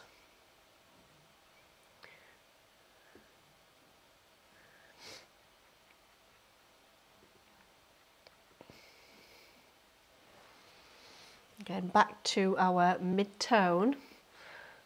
You can see where I'm preserving some of these real pops of light.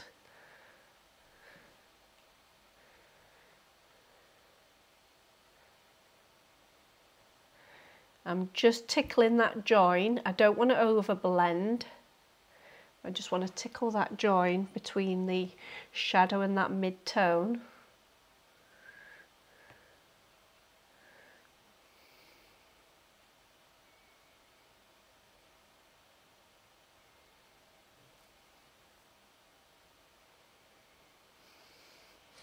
There's a nice little flash of light there.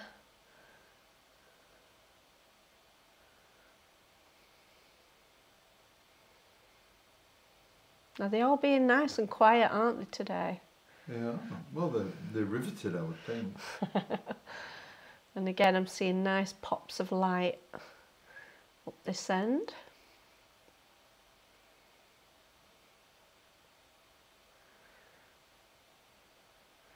This is your Valentine card, Gary. I'm just letting you know. Well, Because I've not been shopping. I've not been it out might- to get it- anything. It'll be an improvement on on the rat one that you did for me. I thought that one was adorable. Has anybody ever seen the um, the Valentine mouse that I did? I think it was last year, year before. I don't remember. And he he said, "I've given him a love rat."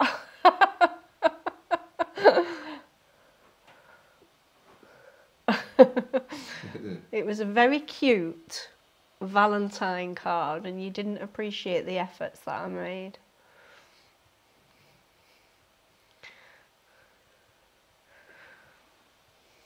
So again, just working my way diligently through these lights and darks, trying not to. The temptation is to pop loads of that cadmium red on because it's going to give you a really nice wow factor. But you don't want to overdo it. Back to the cherry bakewell scenario, if you think about a cherry bakewell, it's got that lovely red cherry right in the middle of all that white icing. And the reason it stands out is because it's a smaller area on a white area. So if you want something to have an impact, you don't want to overdo it.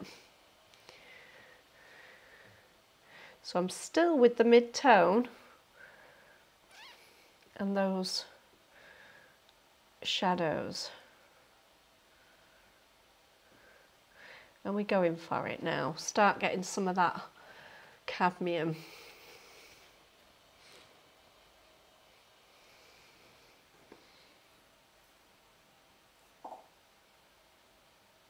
Hmm.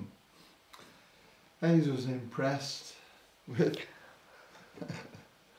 Right? the the rat painting. Might have been trying to hint at something there. What, the, the, I'm a rat?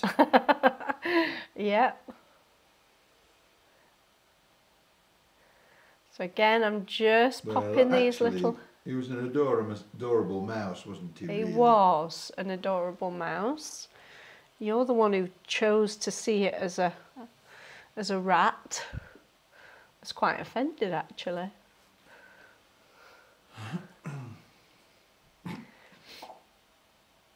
I did you a lovely Christmas card as well this year. You did, yeah, a lovely Santa.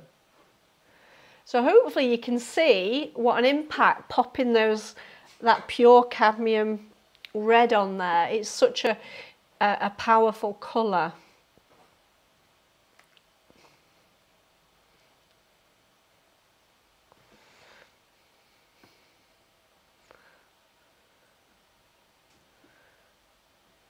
I'm going to change my brush in a minute to something a little bit smaller so I can get into these tiny areas. Well, Ed's come on and said, have you ever completed an underpainting and thought, I like it just like this and left it? I have, I have done that, in particular for demonstrating students. Um, but yeah, it, I mean, to me, they look beautiful on their own. And actually, JD is a master of just doing the Well, monochromatic. JD's just come on and said, I leave many at the underpainting Yeah, stage." he does. He is a master of doing that. Um, and also, if you've not seen the video I've done on the little girl using raw umber and a linen canvas, because I know when I did that, JD absolutely loved it, and I knew he would, because it's right up his street in terms of, um, yeah, they look beautiful on their own. I think they really do. They look really lovely.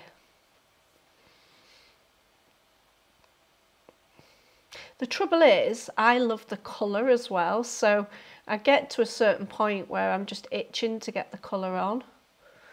I like doing um, alla prima work as well. I do like painting, you know, wet into wet and, you know, or just toning the canvas and going straight in with colour. I do think it's harder for student for beginners particularly to do that because you've got so many decisions to make. You you're looking at value and colour, um, whereas I think using the underpainting really is brilliant for beginners. Um, it just simplifies the whole process. I'm hoping you're seeing how absolutely lovely that is looking. Um, I'm going to switch to, well, I'll do that little corner first, and then I'm going to switch to a smaller brush. Now don't forget I haven't blended any of this. This is very much like I've been doing all along. We place the colour in to begin with. Don't worry about sort of blending and joining things together. I'm going to switch to, what have I got? Let's go with a little round brush. Excuse me a minute. That might work. Let's give it a try.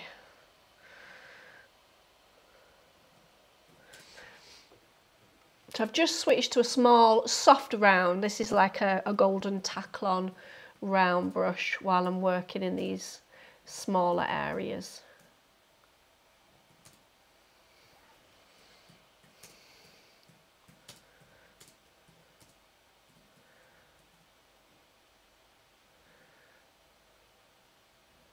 Again, think about just placing your colour using your underpainting as your map to get those colour placements in.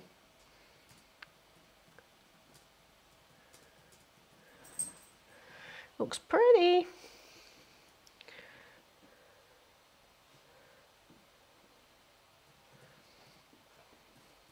It does. I'm still looking at that candle. It's Well. Get everything in place and then we can start popping on those final highlights. And again, we're only doing this as one sitting. If you wanted to, you could let this dry, do the oiling out layer that I did at, right at the start and and do another layer. And this is something I may do. I, you know, I, I can't say I definitely will. It just depends. Sometimes when the workshop classes I don't always go around and finish them off, but then sometimes if I like them, I will do that and then pop them in my shop.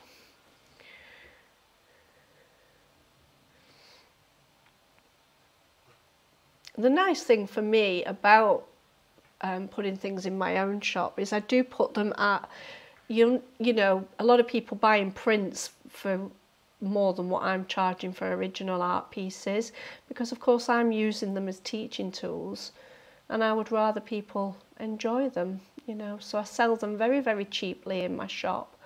So if you are interested in some original art do be sure to go and check me out.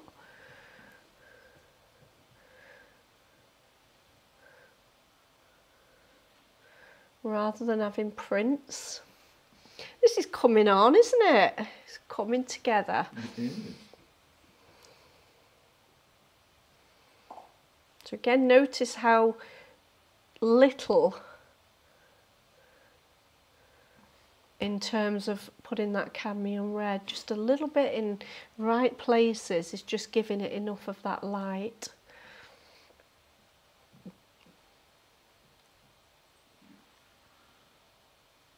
Well, JD's come on and thanked you for your your lovely words. Oh, in terms of his portraits. Yeah. You are the master, JD, with when it comes to the monochromatic portraits. Yeah. If you haven't checked out JD's work, then you really should.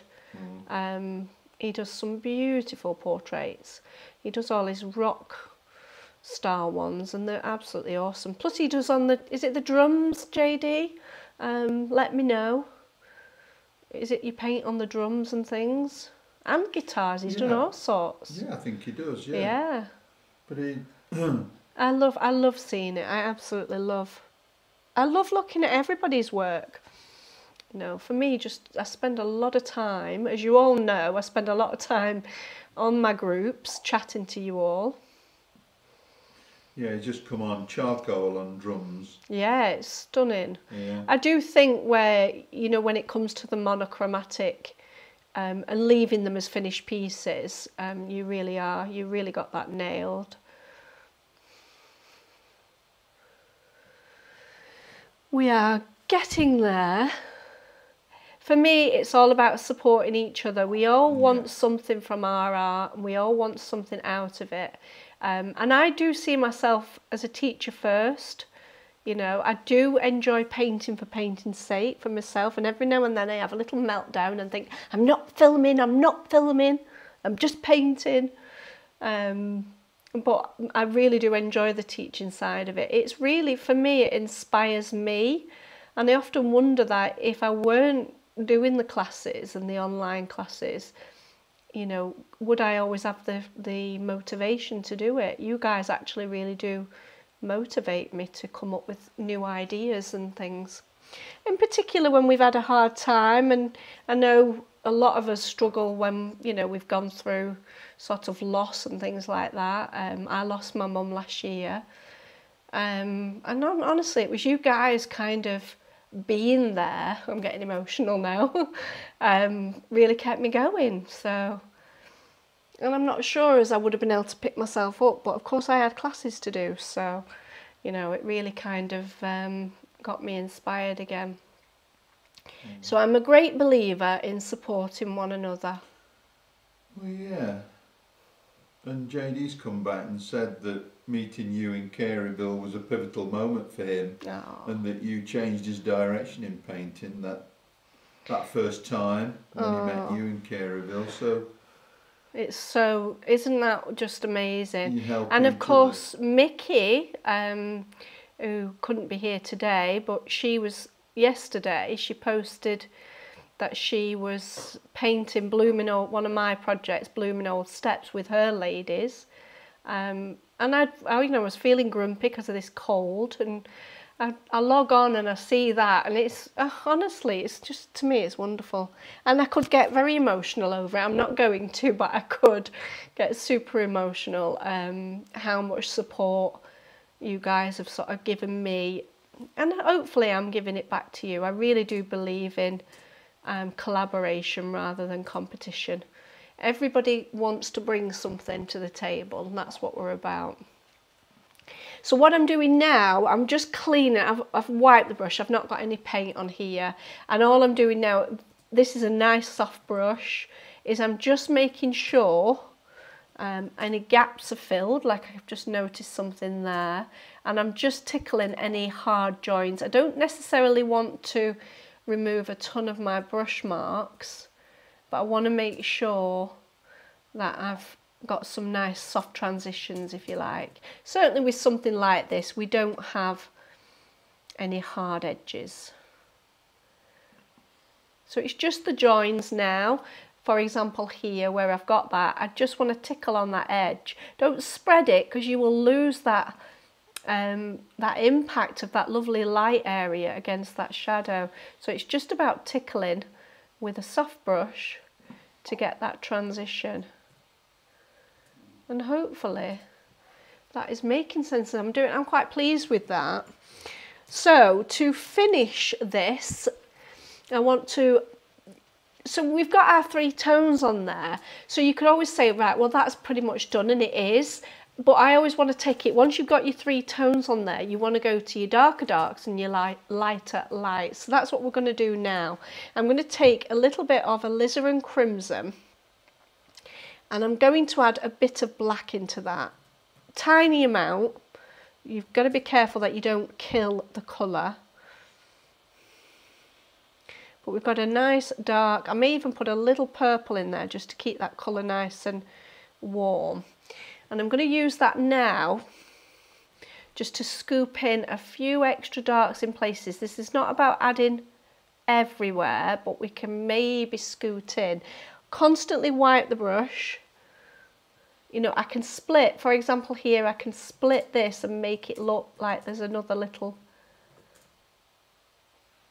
separation between those petals. I am also flattening this brush. I'm just going to jump you to the palette. I am flattening this brush, so I'm actually creating a bit of a chiseled edge on there, um, which is helping me kind of cut into what I'm doing. So right in that deep recess, maybe there's an extra dark in there. So don't add this everywhere. It's more about looking for a darker dark. Let's throw in a little bit more of that black. Where that petal is at its most recessed. It doesn't need a lot because that dark's nice and rich as it is. And I definitely, the further out you go, the less of this you will need. And then we want to do something similar with our lights. I am noticing a slight pinkish colour. So let's give that a, a go. I'm going to make a pink with our alizarin crimson and white but then I'm also then going to pick up our cadmium red and marry those two colours. So we're getting a slightly pinker and hopefully that makes sense as I've done it. And I'll give that a little test. I quite like that. We could probably go a little towards the pink. And maybe just edge a couple. And again, I don't want to overdo this.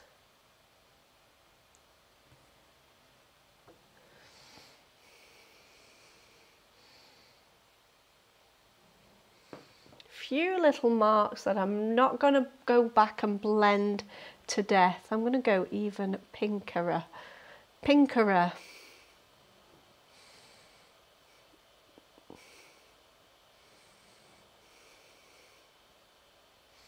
I'm still relating it back to that cadmium.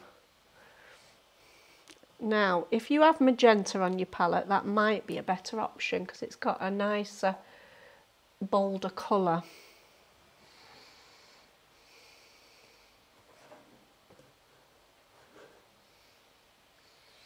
just a few little specks of that I think. Don't want to overdo it. And then I'm also, we've got that lovely cool side. I'm going to do the same with some warmer tones. We'll go with our cadmium orange and a little of our cadmium red. So it's a lot brighter by adding that cadmium orange. And again, just a few little areas now where there might, let's see if that's working. I'm going to lighten that slightly with a tiny amount of our Naples yellow.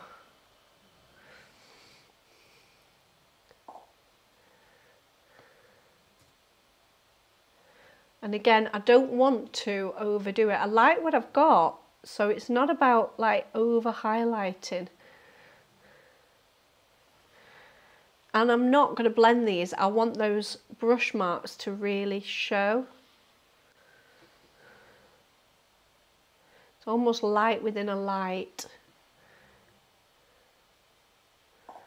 And at that, I think I'm going to call it a day because we can definitely over highlight, can't we? I'm stopping. I like my rose. I think it looks lovely. What do you think, Gary? I think it's wonderful. And I'm not sure, it might have been Carolyn who said it looks very, oh no, Jamie said it's very pure velvet. Yes, it does. It looks very pretty. And again, with those um, final highlights, let me see if you can see it better. I've just kind of plonked them on, you know, don't overblend. Um, and that's important, I think, that you don't overblend things. Different, certain things need to be blended. For example, our um, candle needed to be nice and smooth. Now I want to do a bit more work on that and then we can finish that off. So I'm going to go back to my filbert brush, nice soft brush. Let's get rid of the red. So you're getting lots of compliments. Thank you very much. Barbara says the more she watches, the more she learns every time. Oh, well that's Um, good. Ed, Ed Boss says fantastic. Thank you very much. I appreciate that. So I'm going. Teacher's pet, says I love being part of this tribe. I know. So Hazel is in the process of working on our winter rose with me, and so is Joylyn. I think Joylyn's had a go. Carolyn, I'm not sure if she's had a go at the the pink winter rose that we're doing in the academy. If you're interested in joining my academy, um, there will be a link in this underneath here. Um, we usually paint in on a Wednesday, um, but of course they go on replay if you can't make the Wednesday workshops. Um, they are a nice place to come and learn these different techniques. So what I'm doing now, uh, actually I'm going to add the white first before I start detailing our wick. I'm going to go straight in. I've got a nice clean brush and I'm going to go straight into our white. Of course, it's not going to be white because it's going to mix with the colour underneath, but I want that slightly thicker now. Brighter. That's why we didn't want it to be brilliantly bright um, too early on because you want to be able to go back and put these thicker tones on. So this is just pure titanium white. And I'm putting this on relatively thick now. We've got all that lovely undercolour. And again, all I want to do is just tickle that in to what's underneath.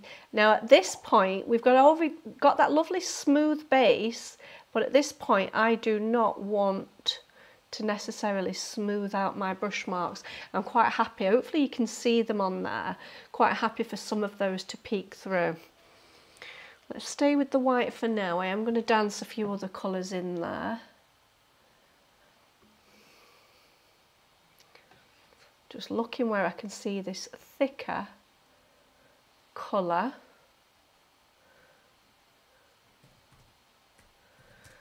Getting a little bit of texture in there as well. Bringing that down. And this time, can you see the crisscross strokes I'm doing? So I'm kind of blending but with a crisscross so I've got some of that lovely texture. You can always use your finger if you want to just soften that in. I quite like that. Now I'm going to pick up a little cadmium orange, uh, sorry, cadmium yellow. Hardly any on the brush. It's quite a strong colour. So I'm going to wipe that excess and I'm just going to bring some of that lovely glow back again. So I'm just finishing this off really where we left it. Give that a wipe. Let's go into our cadmium orange.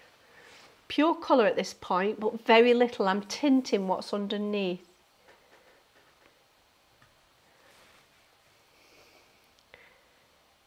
And I can see that lovely, almost reflective light there. So a bit of that bright orange, giving you that nice edge. We can bring that all the way down. Looks pretty, doesn't it? Bring some of that in.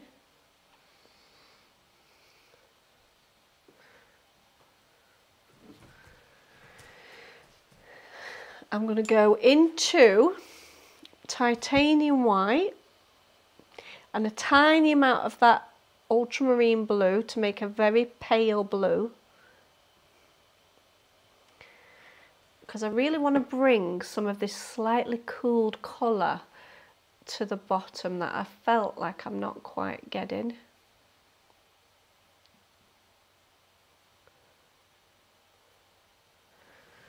I'm wiping constantly before reloading.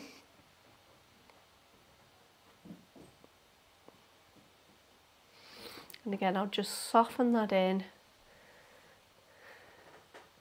Use your finger as well.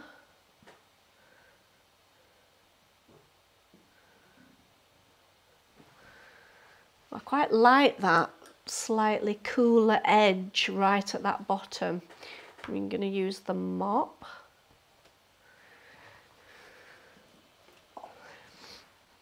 There is also kind of a darkish grey and then a shadow so pick up some of whatever's on my palette now, a darkish grey tone, and I want to just give this candle a little bit of an edge right at the bottom.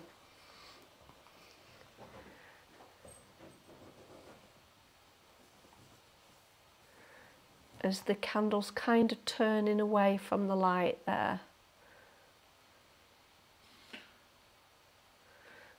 Kind of just neatening everything up a little.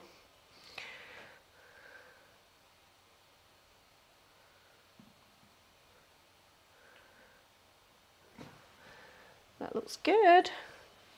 And then I will finish that with a nice dark, so ultramarine blue burnt umber, staying in this puddle as well. And I'll just strengthen that lovely shadow right underneath. And again, this is all about neatening anything up at this stage.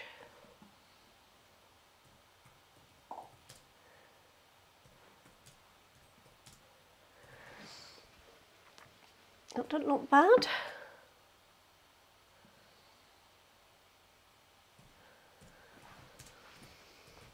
Okay, so on to the candle. Onto the flame even, I should say.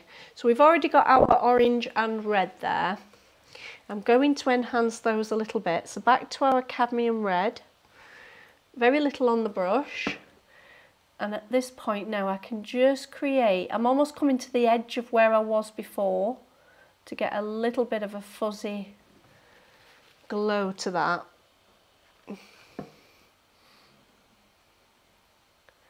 I'm going to tap that as well where that green is.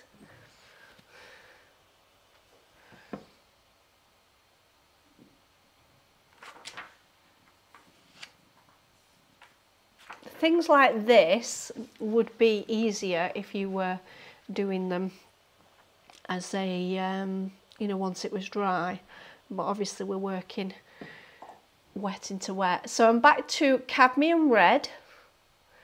I'm going to get the start of the wick in here.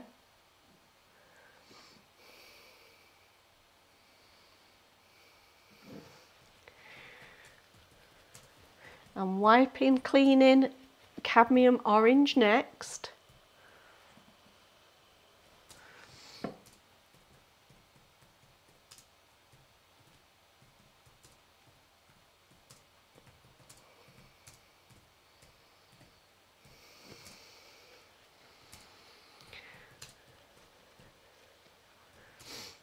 And then into burnt umber. So I've put my lights in first before putting my darks in. And that's just going to make it easier than trying to paint around. I keep that lovely pure colour. And I'm going to kind of squeeze that a little in between. So hopefully that makes sense as I've done it. Now sometimes, you're not seeing it on this reference, but sometimes you get a little bit of blue. Should I give it a go and see if I can try and create it? Mm, I can see it being a mess. Let's leave that. I'm going to stick with the reference, I think. Right, I've got a little bit of cadmium yellow now. Again, this is pure colour. And I'm going to work that just inside of where we've just put our orange and our red. So it takes those three, and I am tapping this on, so it's going on pretty thick.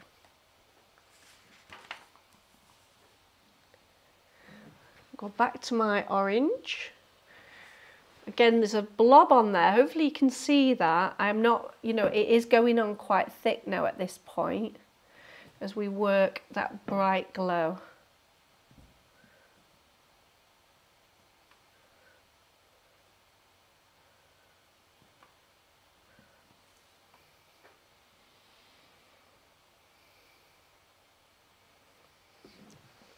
And then give the brush a clean and we're going to go into very thick titanium white.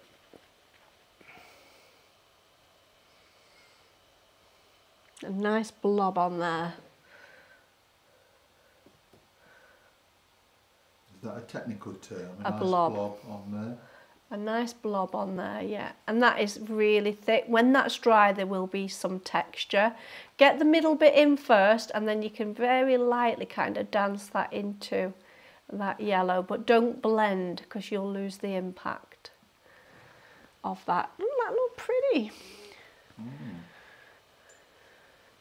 I'm going to take just a tiny amount of that burnt umber again, and just hint at something in here going like so. I like that. Huh. It's always a pleasure, you know, when I've done something I think, oh, I quite like that, that works, this works really nicely. I've not painted it, so you never know. These things could go disaster, and they do sometimes go disastrously wrong. Um, but I'm pretty happy with that. I think that looks, Hazel's saying, wow, stunning. Um, yeah, I'm quite pleased with that. Um, you know, it doesn't have to be exactly like the photograph, um, but I'm really, really happy with how that has turned out. What do you think, Gary? Are we happy with that? I, I love it. Th that candle. Um, it looks really nice. It's, it's very, amazing, very yeah. thick. Let me see if I can just zoom in and show you the thickness of that paint. Let me move things up. Hopefully you can see it from there, how actual thick that final glow has gone on. Um, it doesn't, if you don't put it on thick like that, you won't get the glow. So um, you do need to, to put your highlights on pretty thick. Um, but I'm pretty happy with that. I'm going to um, sign that off, I think, and call that a done painting. Yes, right. So where are we at with everything? Um, everybody's really Everybody's happy. had a good time and we've we've enjoyed it and I've enjoyed it and you've actually took my mind off um, having this rotten cold and feeling best I've felt all week. So uh, I appreciate that. But yeah, I'm pleased with that. What do you reckon, Gary? We all good with that? Yeah, it's wonderful, and um, everybody thinks so. She, Shia Marie is saying this is beautiful. beautiful. Thank you so much. I appreciate that. and again, everything is available on the Academy. Everything's for free. I've provided you tracing. There's, there is already an underpainting out there already. Do your underpainting first, let that dry, and then come and do this colour layer. And I shall look forward to seeing your versions. I have the MazArt Tribe. If you search for MazArt on... Um, Facebook. Um, you'll find the tribe on there. Um, that's a free membership for people to join in. It is for people just to share MazArt projects because obviously I don't want it inundating with tons of different art. Um, but if you want to share your version with me, that's the place to do that.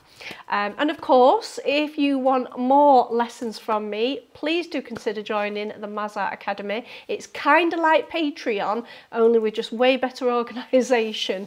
Um, but you can come and go. It's a monthly subscription, or alternatively, um, you can actually buy. Yeah, you can actually buy classes one at a time as well. Um, so it's there are options on there. You can buy one at a time or join and access everything.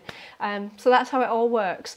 So I'm going to finish there. I'm absolutely desperate for a cup of tea. We've done 1 hour 57 minutes, which I think is absolutely fabulous. Um, and I'm really pleased with my lovely romantic... Oh, you like it, Gary. It's for you. So it's happy, um, happy Valentine's, dear. I, I, I feel really emotional.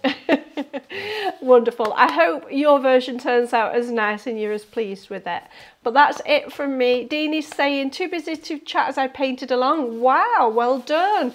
Oh, I look forward to seeing your version over on the Tribe, Deanie. So um, that should be be fun. Looking forward to the next one on the Academy as well. Yes, we've got a wonderful ram coming up and we've got a landscape as well in acrylics. So uh, lots of variety on there. If that's what you're interested in, then do consider joining the amazing MazArt Academy, even though I say so myself. right, on that note, I'm going to go and grab myself a cup of tea and I'll see some of you on Wednesday for the second part of our pink rose tutorial and I'll look forward to seeing some of you in the next video. Bye bye for now guys. Bye bye.